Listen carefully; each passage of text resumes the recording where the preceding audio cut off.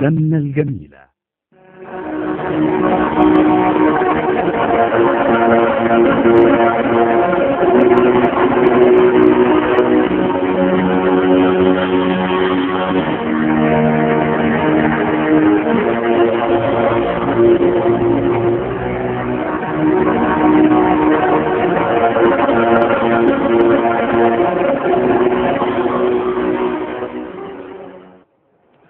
السلام عليكم ورحمة الله وبركاته.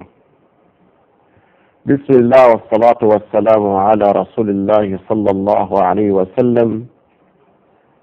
مرحبا بكم مجددا في لقاء يوم الاثنين من كل أسبوع في برنامجكم أحلامنا الجميلة.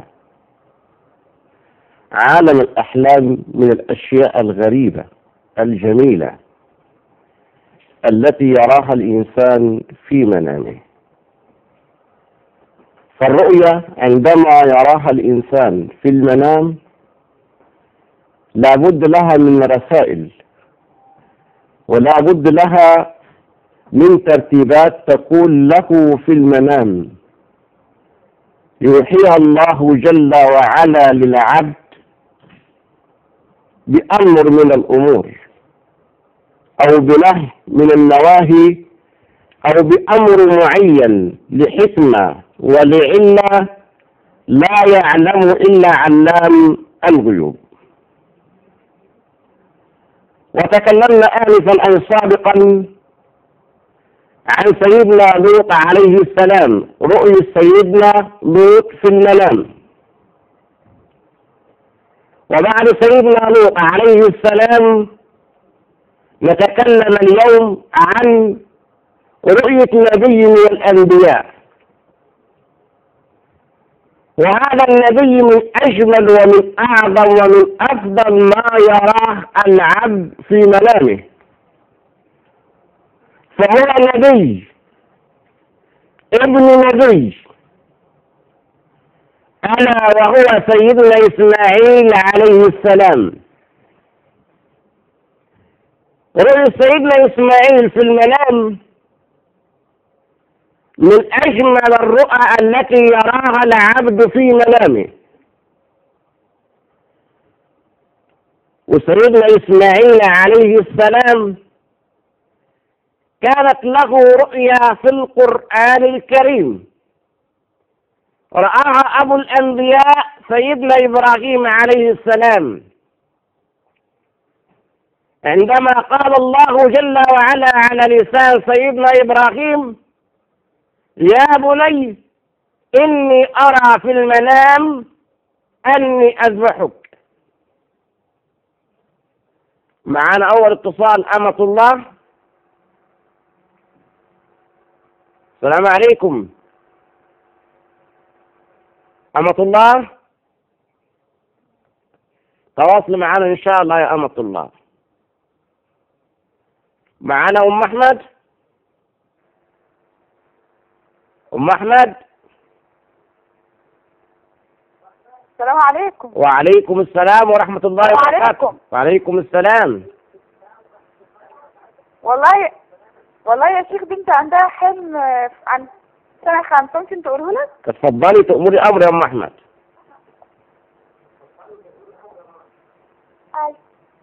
أيوة تفضلي يا بابا. تفضلي. أنا حلمت بمامتي اللي إحنا كنا في بيتنا القديم قبل ما نيجي نسكن هنا. تمام. أي- ف- فكانت واحدة عايشة معانا جارتنا. تمام. فهي كانت عايزة تخرب عليها عيشتها بأي طريقة. تمام آه، ما كانتش بتحب مامتي وعايزة تموتها بأي طريقة نعم. فكانت هي قاعدة مع بابا وإحنا قاعدين معاها. آه، آه، وهي جت عايزة تموتها. تمام. وموتتها تمام. وموتتها أيوة كملي. بس كده؟ وإحنا آه، وإحنا كنا لابسين أسود وبنينا نعيط آه، فأخويا جه من الدرس وقلنا له يا أحمد ده ماما ماتت. تمام. آه، فأحمد زعل ومش واتكسف كده اللي هو يعيط. تمام. فماما زي تكون قاعدة معانا وسمعانا بس إحنا مش شايفينها. تمام. وإحنا بنرد عليها اما تيجي تكلمنا. ف فجي فجي أحمد قال, قال, قال لنا طب هي ماما ماتت إزاي؟ إحنا قلنا له في واحدة موتتها. فهو كان زعلان أوي. فجت ماما قالت له تعالى يا أحمد ليا تعالى. أح... أنا قلت لا يا أحمد ما تروحش لها. تمام. ما تروحش لها ماما قالت اسكتي انت هي... آه تعالى يا أحمد ليا أحمد مش راضي يروح لها. تمام. بس وإحنا كنا لابسين أسود وداننا نعيط وكده. إن شاء الله ربنا يحفظ لك ماما إن شاء الله من السوء والبلاء. بعيط أوي. حاضر هفسر لك الرؤيا إن شاء الله يا بابا. آه الرؤيا يا أم أحمد تبين إن ربنا سيحفظك من السوء وسيحفظك من البلاء. وسيحفظك من الأعداء لأن الظاهر في ناس متربصين ليكي من خلال الرؤيا اللي شافتها البنت إن في بعض الناس حاقدين عليكي في بعض الناس ينظرون اليك في بعض النعم التي أنعم الله جل وعلا وأعطاها إليك.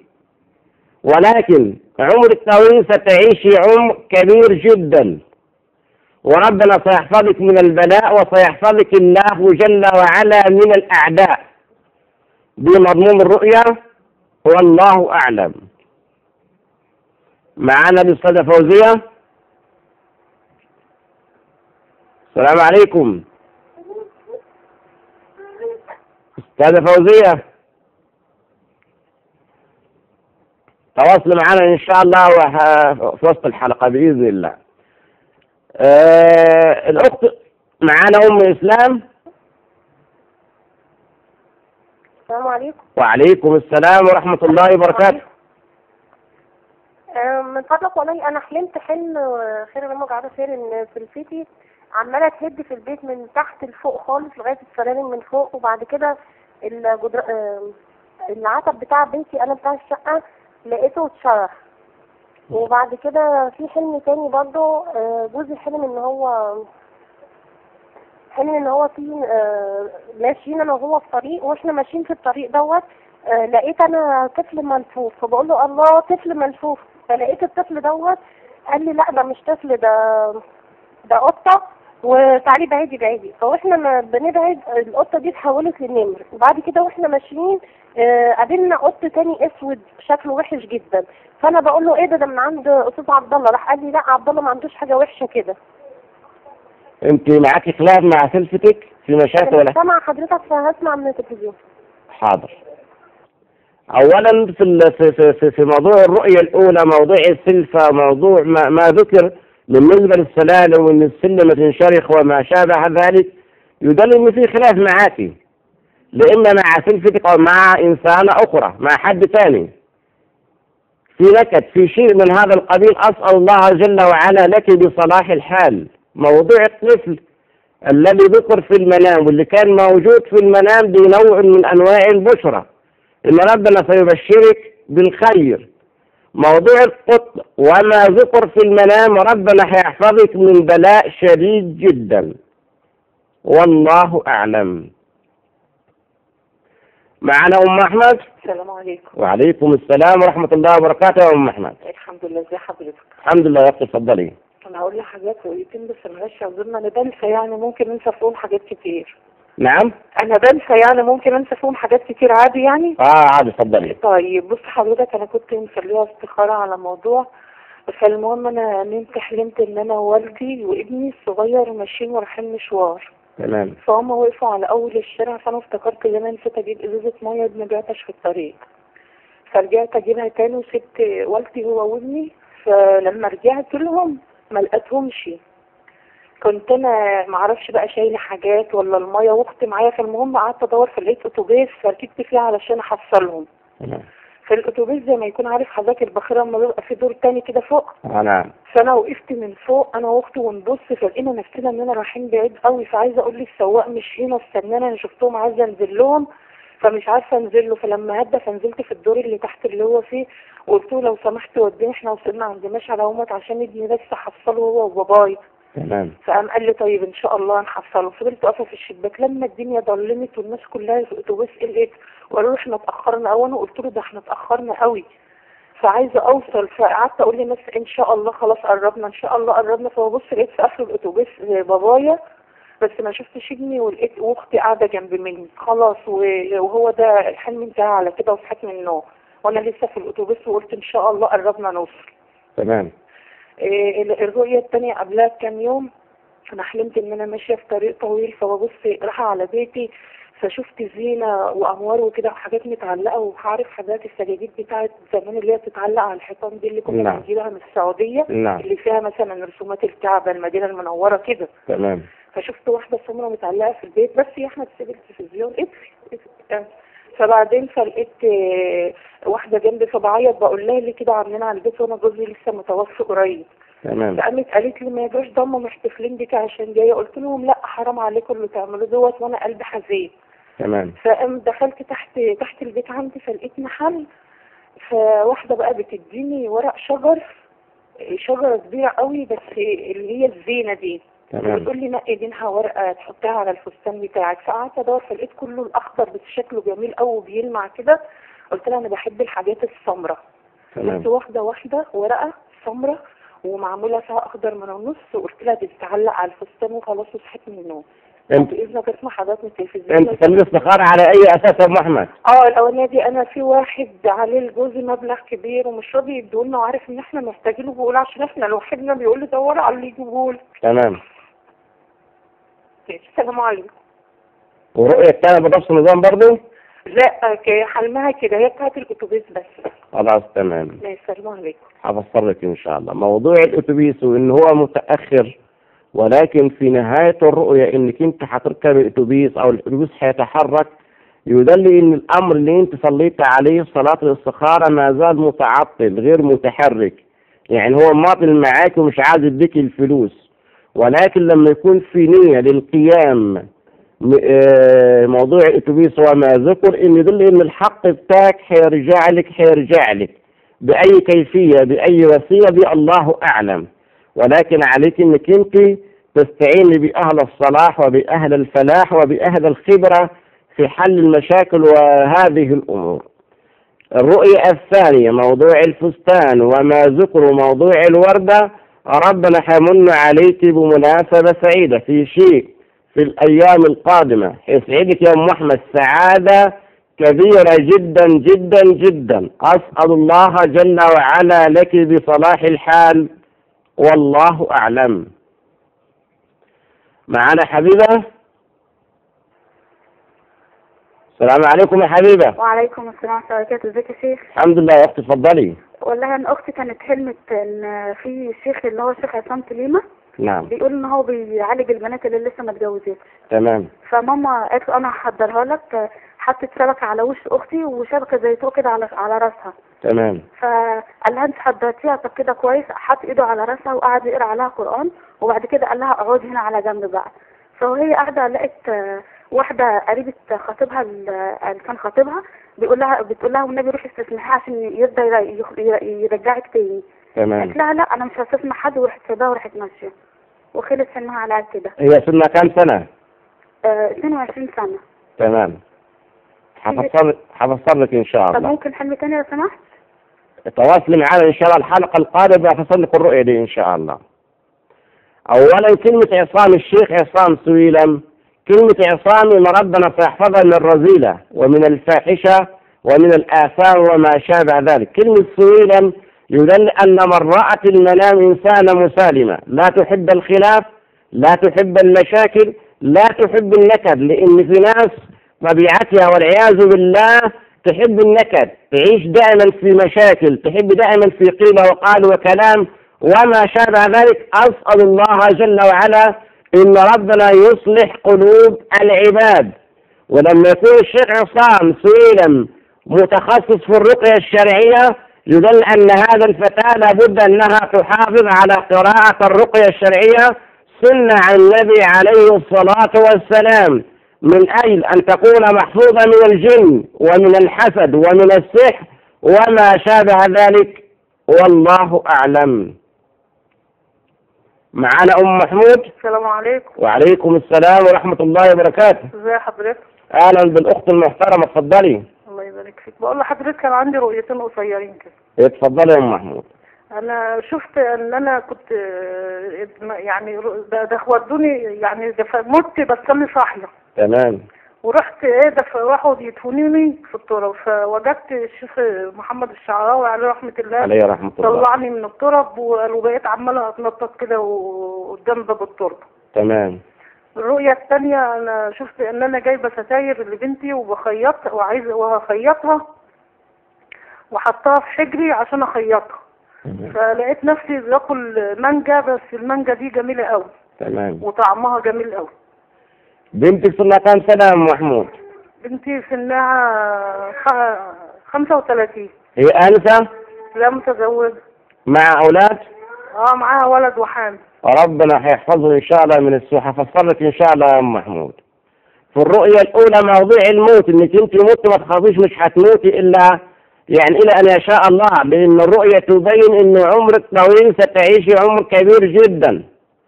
أفضل شيء وأعظم شيء في المنام لما يطلعك الشيخ الشعراوي من هذا المكان يدلل إن ربنا هيجعل لك من بعد العسر يسر ومن بعد الضيق فرج وإن ربنا سبحانه وتعالى يوحي إليك في المنام إنك أنت إنسانة صالحة وإنسانة تقية وصفية وورعة ولكن عليك بالإكثار من طاعة الله عليك بالذكر وإنك أنت تكثري من الصلاة على النبي عليه الصلاة والسلام. والرؤيا الثانية يدل إن البنت ربنا هيبشرها بالخير وسيبشرها بشرى طيبة وجميلة وربنا سيحفظ لها الابن أو البنت التي معها من السوء والبلاء. دي مضمون الرؤية الأولى والثانية والله أعلم.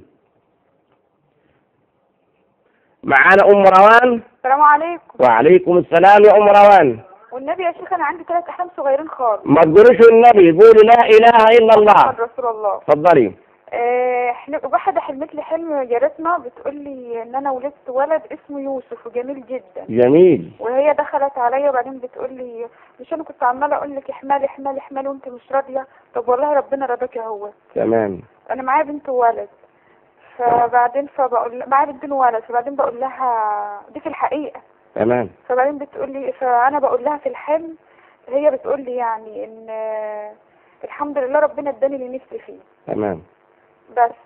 وجوزي في مرة حلم إن واحد بيقول له إنه له ابن تاني كبير كده. بعدين بيقول له ابن مين ده؟ قال له ده ده واحدة قالت له ده ده واحد صاحب ولادنا وده اسمه المختار. الله جميل. تمام. ووالدتي المتوفية آه، آه، ست المتوفية ادتني في مرة شاكوش. تمام. واحدة في المنام ادتني زرارين بدلة. بس كده يا أم روان هفسر لك إن شاء الله. ماشي إن شاء الله. شكرا.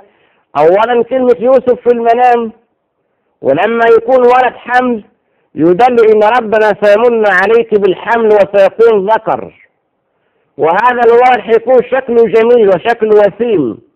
وحيكون له شأن كبير جدا وشأن عظيم وحيكون معروف مع العباد ويكون معروف ما بين البلاد. أبشر وقولي الحمد لله.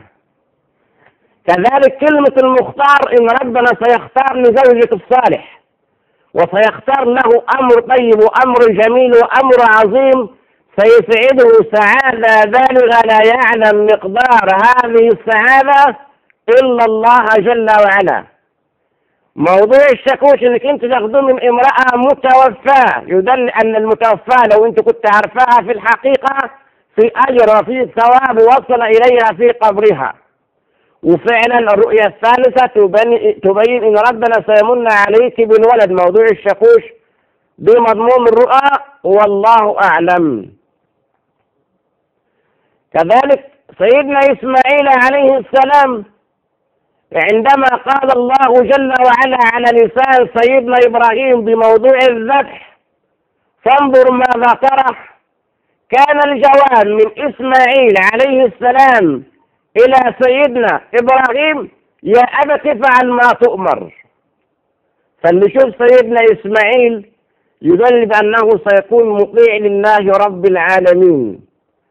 سيمن الله عليه بالالتزام وبالطاعة. وبالتقوى وبالورع. ومعانا أم يوسف إن شاء الله. أم يوسف؟ السلام عليكم. وعليكم السلام ورحمة الله وبركاته يا أم يوسف. إيه لو سمحت يا شيخ أنا بس شفت حلم وعايزه حضرتك تفسره لي. تفضلي. إيه شفت إن أنا إيه في غوريلا هي شبه هي تعتبر قرد بس. هي غوريلا.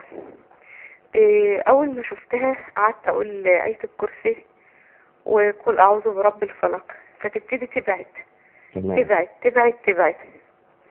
وبعدين لما ابتديت أقول الآية القرآنية دي بعد كده ما بقتش تخاف لكنها ما مستنيش. تمام. إيه بس بقى في حاجة برضو عايزة أقول لحضرتك عليها رؤية خاصة بابني هو تعبان. إيه عايزة أشوف يعني هيتحسن أو إيه. تفضلي إيه أنا شفت ان إن أنا بحلق له. تمام. وبرضه شفت قبل كده. أنا ليه ليه هو ليه أخ؟ يا أم يوسف أنت بتح- بتحقن الشعر ولا مكان آخر؟ إيه؟ الش- بتحلق له الشعر بتاعه؟ أيوه. تمام. إيه وشفت هو ليه أخ؟ نعم. إيه شفت إن أخوه ده إن أنا هديت أخوه بمصحف ذهب كبير. مم. وسلسلة سلسلة مصحف كبير. مكتوب عليها اسم الله. تمام. وشفت إن أنا أهديته إيه سلسلة فيها قلب. ذهب تمام. إيه وبرضه شو إيه نفس السلسلة بتاعت أخوه اللي مكتوب عليها اسم الله إيه كانت نمت واهديت له إيه جنبها حصان ذهب. تمام. بس يعني يعني حضرتك بس عايزة أعرف ربنا هياخد بإيده كده ويشفيه ويعافيه؟ فكريني بأول كلمة في الرؤية الأولى يا أم يوسف. إيه الرؤية الأولى بتاعت الغوريلا. خلاص تمام. هفسر لك إن شاء الله. موضوع الغوريلا أو موضوع الك... القرد أو ما شابه ذلك أو ما ذكر في المنام يا أم يوسف دي رسالة من ربنا سبحانه وتعالى إنك أنت تحافظي على قراءة الرقية الشرعية.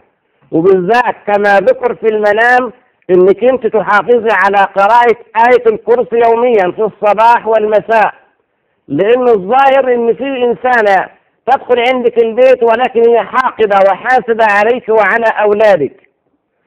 دي بالنسبة للرؤية الأولى. أسأل الله جل وعلا إن ربنا يحفظك من كل سوء.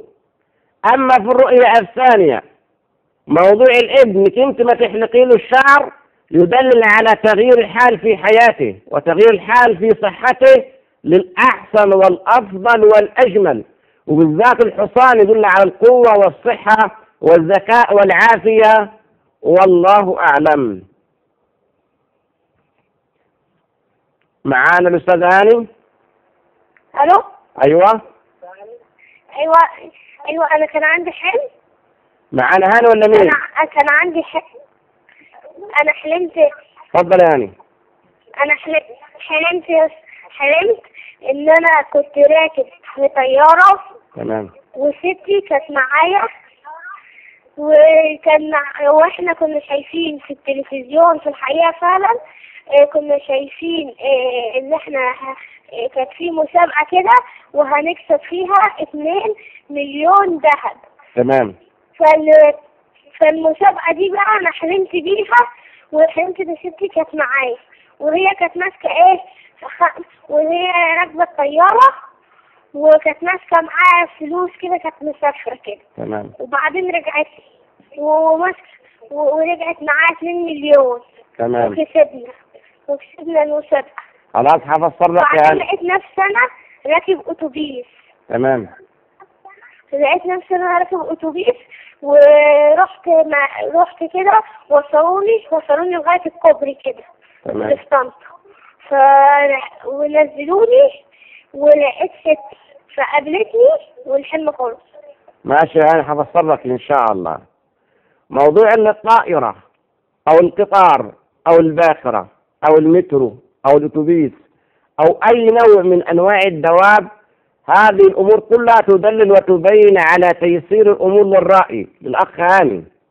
إن أمورك في الكبر حتكون ميسرة جدا ليس معقدة ليس فيها التعقيد. موضوع المسابقة إنك أنت حتفوز بأمر من الأمور في أمر معين وهذا الأمر سيكون أمر ثمين وغالي ونادر وجميل. أسأل الله جل وعلا إن هي ما تكونش مسابقة ولكن أسأل الله جل وعلا إن ربنا يمن عليك وأنك تفوز بحفظ كتاب الله جل وعلا والله أعلم. فسيدنا إبراهيم عليه السلام أبو سيدنا إسماعيل هو سيدنا إبراهيم وربنا رزقه بإسماعيل على كبر. كان عمر سيدنا إبراهيم عليه السلام عندما أعطاه إسماعيل كان عمره ستة وثمانين سنة. فاللي يشوف سيدنا إسماعيل عليه السلام يدلل على البشرى والبشارة لمن يراه في المنام. ده مش كده بس ده سيدنا إسماعيل عليه السلام وقعت معاه حادثة تظل إلى قيام الساعة وهو الذبح العظيم الذي فداه الله جل وعلا به وربنا ذكره في القرآن الكريم وفديناه بذبح عظيم. فيدلل اللي يشوف سيدنا إسماعيل عليه السلام يدل على مناسبة طيبة ومناسبة جميلة ومناسبة سعيدة لمن يرى سيدنا إسماعيل في المنام. معنا أم يوسف؟ أيوه يا شيخ. اتفضلي إيه لو سمحت أنا كنت شفت رؤية. نعم. إن أنا كنت متصورة صورة واقفة على هرم نعم. أيوة كملي يا أم يوسف الظاهر الخط على تواصل معنا إن شاء الله. فاللي يشوف سيدنا إسماعيل عليه السلام يدل على المناسبة الطيبة الجميلة السعيدة لمن يرى سيدنا إسماعيل عليه السلام. كذلك سيدنا إسماعيل كان نعمة طاعة الابن للأب في جميع الأمور حتى بعد ما تزوج سيدنا إسماعيل عليه السلام لمن قصة جميلة عظيمة مع زوج سيدنا إسماعيل ومع سيدنا إبراهيم عليهما السلام. فاللي يشوف سيدنا إسماعيل يدلل إن هو سيكون مطيع للوالدين. اللي يشوف سيدنا إسماعيل عليه السلام يدل على حدوث أمر في حياة الرأي. وهذا الأمر سيكون أمرا عظيما وأمرا جميلا وأمرا ثمينا. لأن الماء تفجر من بين رجل سيدنا إسماعيل عليه السلام ماء زمزم معنا أم عمر؟ ألو السلام عليكم. وعليكم السلام ورحمة الله وبركاته يا أم عمر. لو سمحت حضرتك أنا ليه بحب واحد هقوله دلوقتي مش عشان ما اطولش على حضرتك؟ ارفع الصوت بس أيوه. إيه كنت حلمت يعني من فترة كده حوالي شهر إن أنا اتفضلي يا أم عمر كملي. حتى بيض كتير كده. تمام. الدنيا لا يعني زحلقة طين نعم. طين فأنا ماشية كده على جنب علشان الشتاء يعني والطين ده وماشية بالراحة. فجبت على بيت البيض بتاع. تمام. معانا أم أحمد؟ أم أحمد؟ خلاص هنفصل الرؤية بتاعت أم عمر إن شاء الله بعد الفاصل فانتظرونا بإذن الله.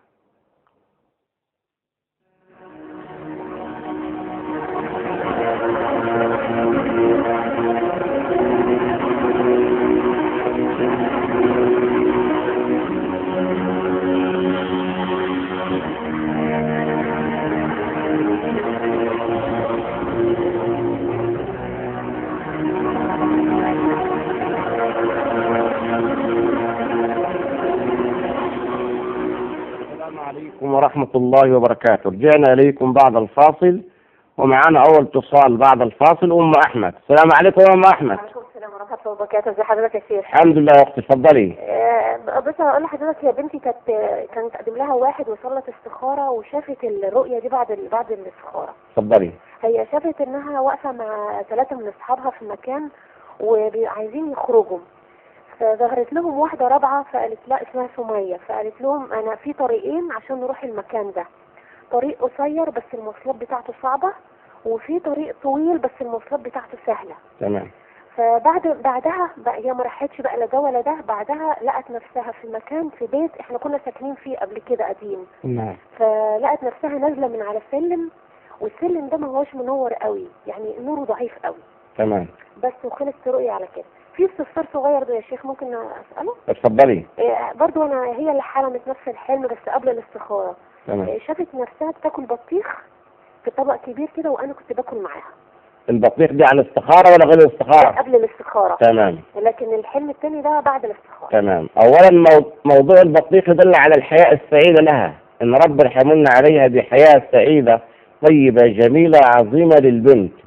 ولكن على حسب الرؤية لأن بعض الأحيان يكون البطيخ تعب ومرض وما شابه ذلك. أيوه آه. أما في الرؤية الثانية موضوع إن في طريقين في طريق سلس وفي طريق صعب أيوه. دي رسالة وموضوع النور إنه في إضاءة ولكن قليلة جدا أيوه. إن هي تتوكل على الله وتقبل هذا الأمر آه. ولكن حيحصل فيه بعض المشاكل أو التعقيق التعقيدات أو حيحصل فيه بعض القيل والقال ولكن مضمون مضمون الأمر نفسه موضوع الزواج إن هذا الشاب فيه الخير. أيوه. وحيكون فيه الصلاح والفلاح وحيكون معاه الراحة والسعادة. أيوه. ولكن اللي حواليه حيكون في نوع من التعب. والقيل والقال أسأل الله جل وعلا لها التيسير وصلاح الحال. فعليها بأنها تقبل هذا الشاب وتتوكل على الله.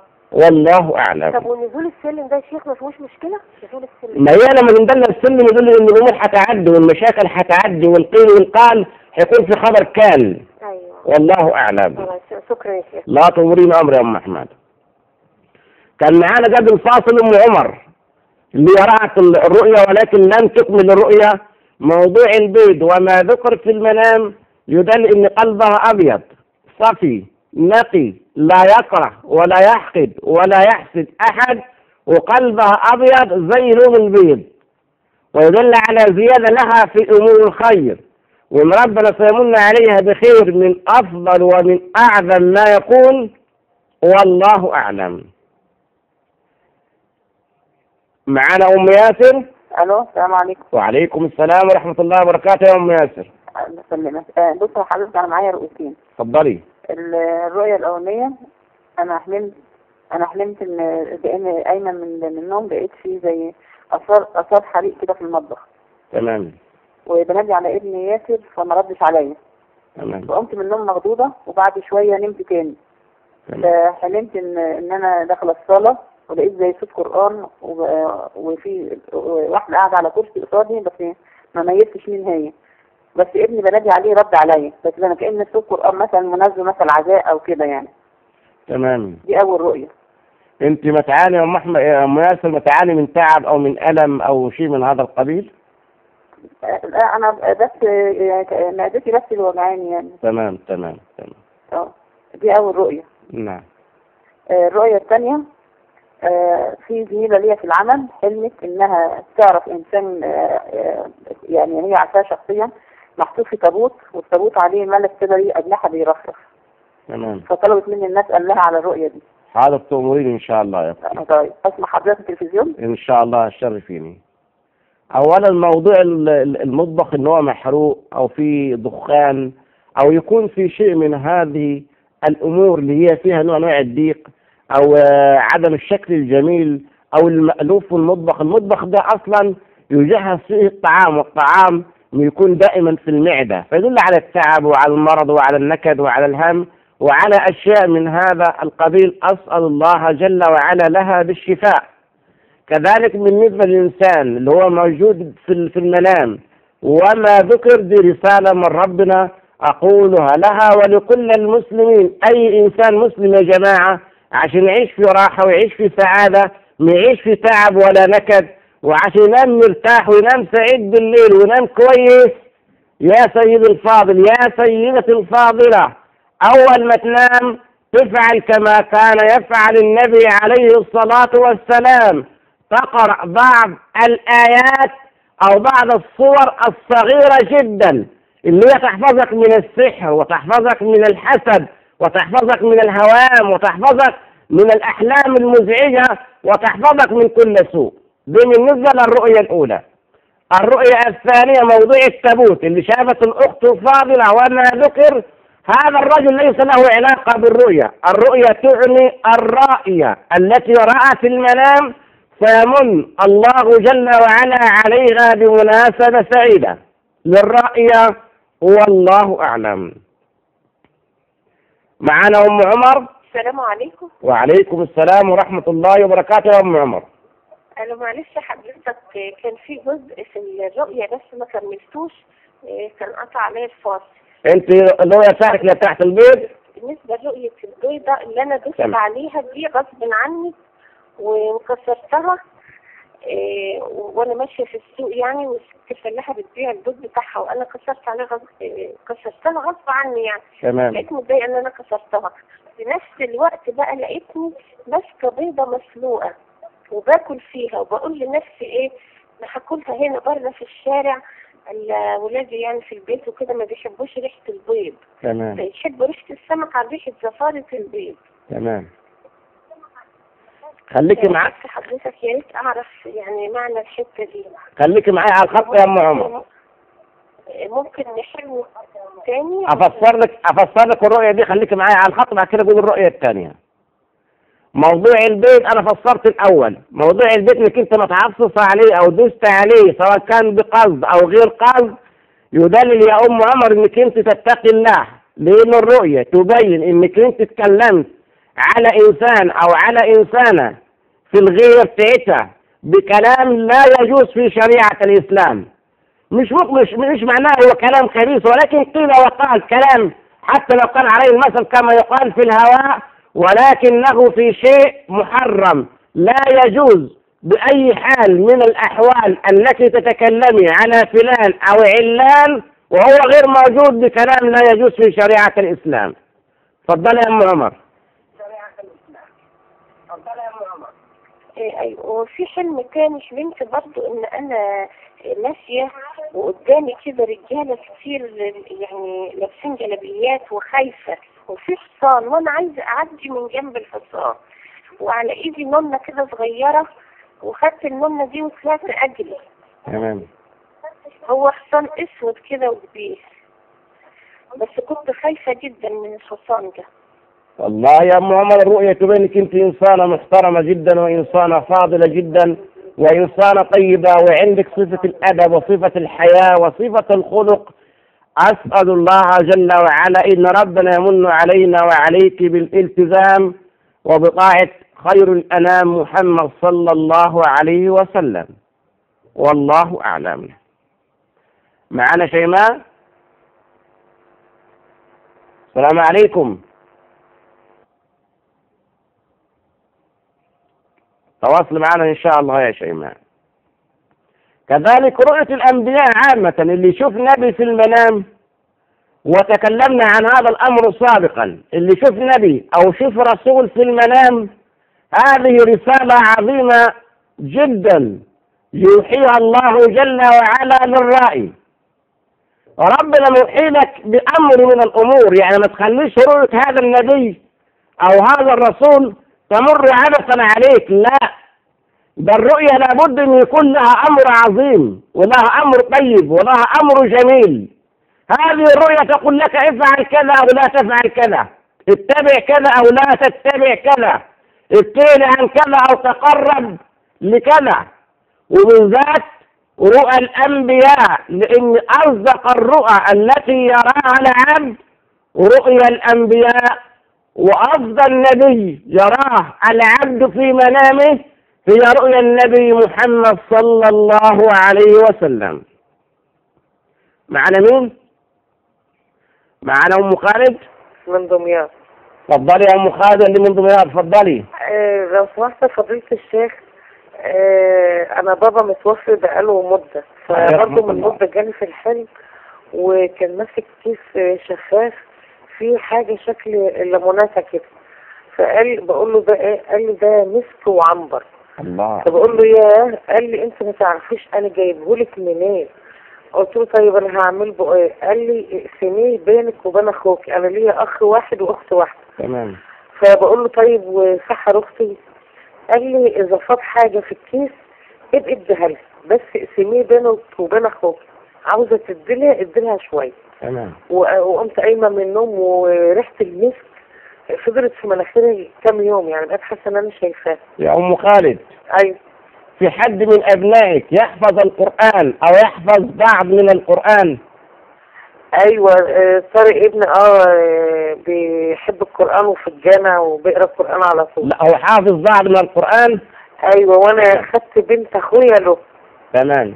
ربنا يبارك لك فيهم إن شاء الله لأن موضوع المسك وموضوع العنبر أيوة. وما قيل في القرآن ده ربنا ده النبي عليه الصلاة والسلام ذكر هذا الأمر في حديث جميل عظيم جدا اللي هو صاحب قارئ القرآن. أيوه فالرؤية تبين إن ليك بعض الأبناء أو ليك ابن أو بنت يحفظ القرآن أو بعض من القرآن. أيوه ومش كده بس ده ربنا يحملنا عليك بجميع الذرية والسلالة بتاعتك هتكون سلالة وذرية صالحة. ما شاء الله. أسأل الله جل وعلا إن ربنا يمن عليهم بالإخلاص والله أعلم. متشكرة فضيلتك متشكرة لا تمرين أمر يا أم خالد في أي وقت كل سنة وأنت طيبة. معانا الأستاذ مصطفى؟ أستاذ مصطفى؟ أي السلام عليكم. وعليكم السلام. أه، اتفضل نحن معاك على الهوا. ازيك يا فضيلة الشيخ. والله الحمد لله يا حبيبي تمام. بقول لك إيه يا فضيلة الشيخ لو سمحت حلمت كذا حلم يعني آه، الناس بتطير ورايا على طول يا فضيلة الشيخ. تمام. الناس دي على طول يعني إيه بتطاردني وعايزة إيه يعني لما أقدر عايزة تموتني.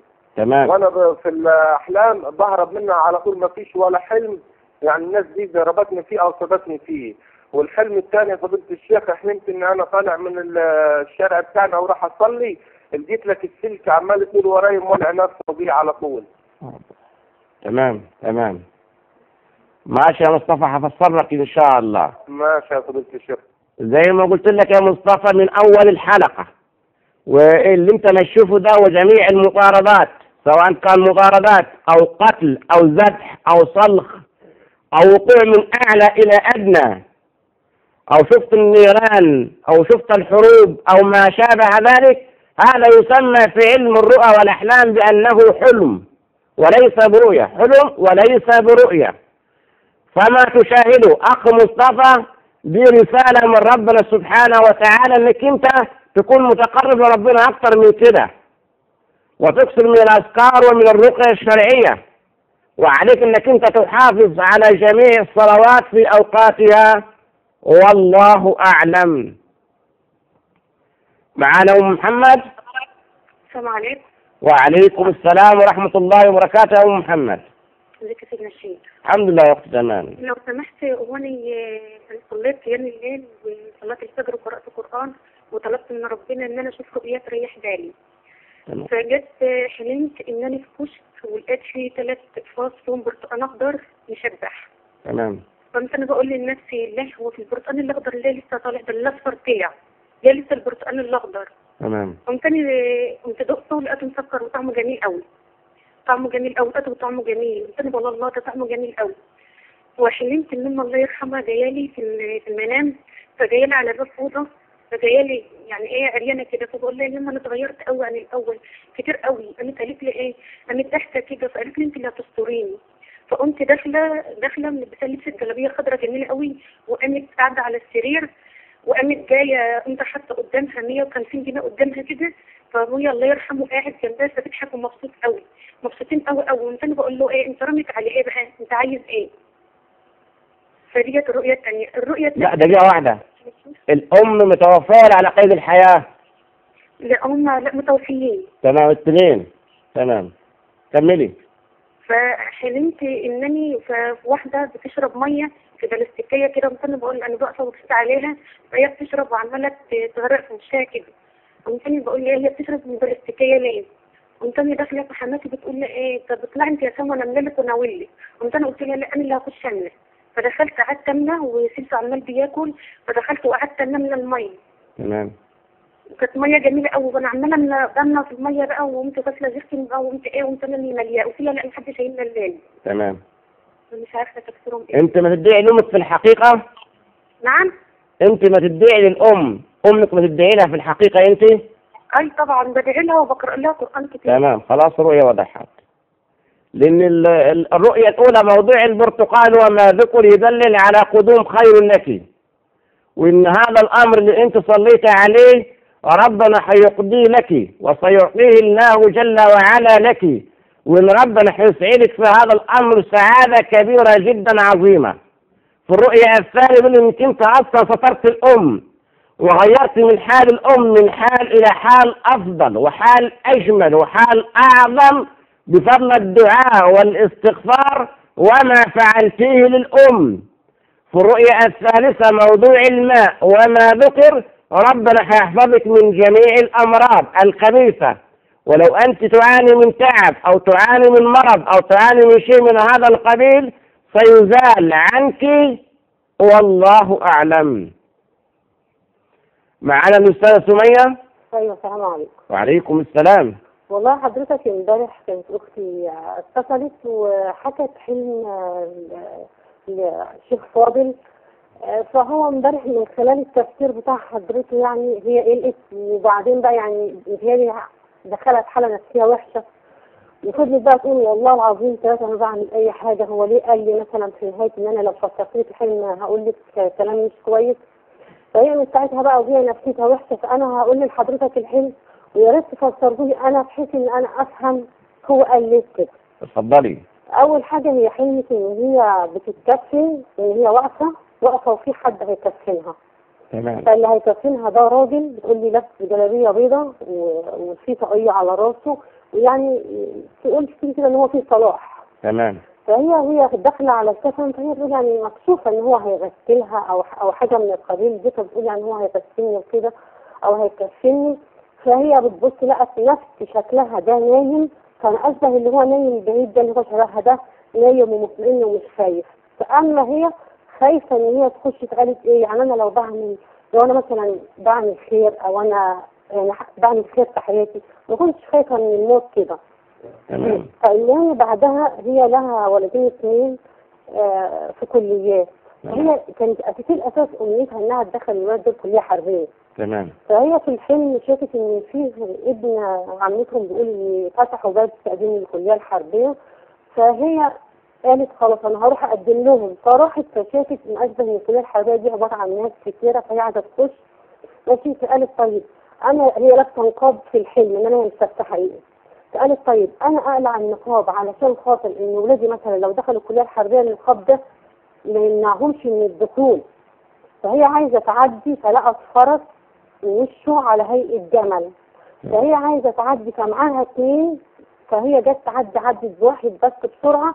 علشان خاطر تروح تلحق تقدم له في الكلية ده ال- الحلم اللي هي حلمته ال- الشيخ فسر لها بسرعة إن لا يا ستي ما تقوليش التفسير ماشي. أنا هفسر لك والمشايخ كلهم ناس طب آه،. هقفل مع حضرتك من التلفزيون إن شاء الله وناس محترمين وأفضل مننا وأعظم مننا في تفسير الرؤى طبعا. طبعا أنا أنا أشهد له بكل احترام ولكن أنا بس اللي قلقني عليها أقول لك هي أنا فراخ. واريحك أنا الله يهديك. فهي أقسمت لي بالله أختي أنا ما بعمل يا ستي الله يهديك. أنا هقول لك هقول لك تفسير الرؤية.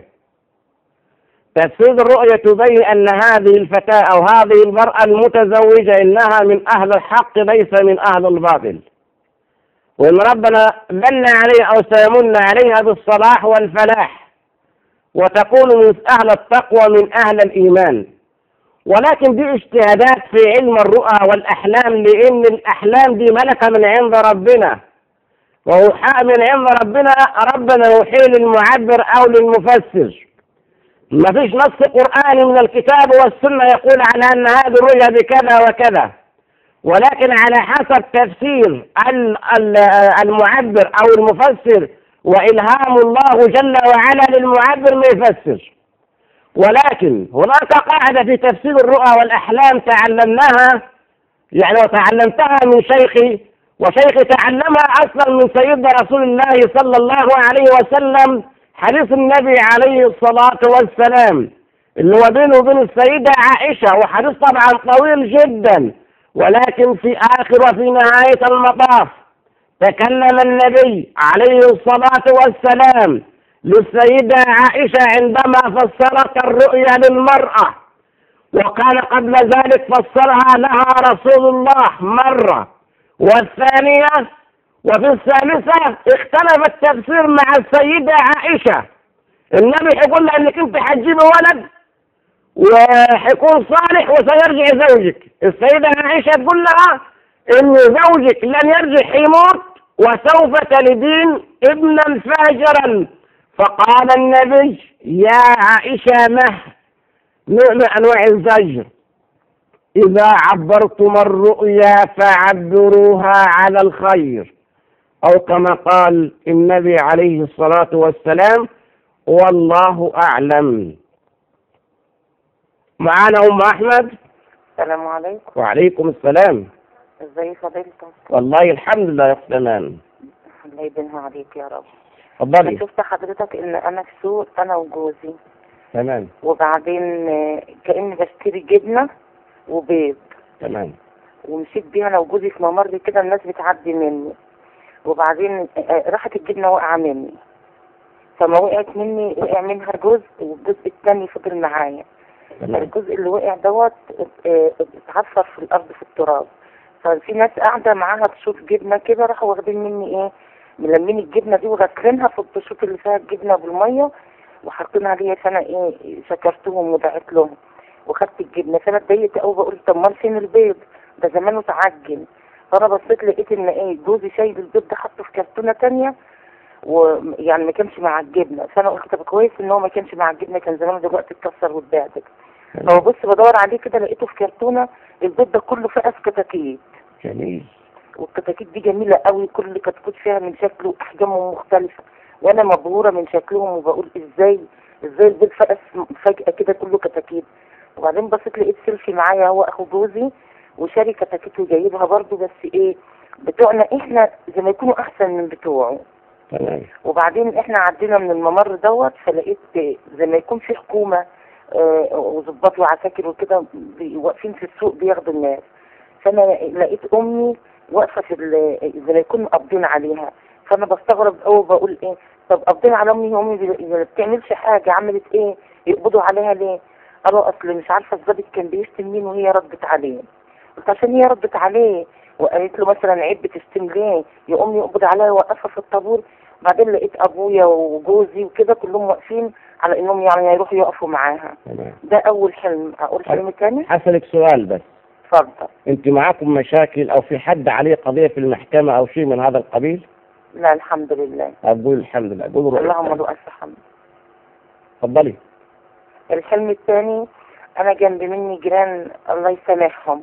فأنا كم مرة أشوفهم إن أنا بتخانق معاهم بس بضربهم ضرب جامد قوي وأنا لا بعرف اضرب بس مش بعمل حاجة. فالمهم لقيت واحدة منهم نازلة عندنا الجنينة. وبتاخد حاجة من الجنينة زي من من شجرة العنب بتاخد فأنا بقول لها أنت بتعملي إيه؟ هي دي بتاعتكم انت نازلة هنا ليه؟ ودي مش أول مرة تعملوا كده. فراحت شتماني. فأنا إيه رحت ماسكاها ضرباها ورحت لقيت في شجرة العنب ده عنب آه، زي ما يكون في آخر السنة يا شيخ كده وكم واحدة منسيين تمام. كده. فمسكنا ونزلنا إيه أنا واولادي كنا بننقي فيهم وبناكل منهم عنب بعدين لقيت قطف عنب كأنه لسه طالع أول يعني أول ما طالع كده تمام هتصرف إن شاء الله يا أختي. اولا في الرؤية الأولى أفضل شيء إن البيت فأس في المنام طلع كتاكيت لأن لو كان البيت تعجك أو ادعك أو كان ضايف أو ما شابه ذلك لكانت الحياة كلها للزوج أو ليكي أو للأسرة كانت حياة بنك. ولكن من رحمة الله ومن كرم الله عليكم إن البيض فقط كتاكيت فيدل على قدوم الخير سواء كان البيض أو كان الجملة أو ما شابه ذلك. كذلك في الرؤية الثانية يقولون ربنا سيحفظكم من الأعداء والحاقدين والحاسدين أسأل الله جل وعلا لك ولجميع أسرتك التيسير. كذلك أيها الأحبة في القرآن تعودنا كل يوم الاثنين في, في, في نتكلم عن نبي من الأنبياء. فإن شاء الله إذا كان لنا عمر في ال- يوم الاثنين القادم إن شاء الله حتكلم عن رؤية سيدنا إسحاق عليه السلام. رؤية سيدنا إسحاق. فانتظرونا إن كان لنا في العمر بقية. والسلام عليكم ورحمة الله وبركاته.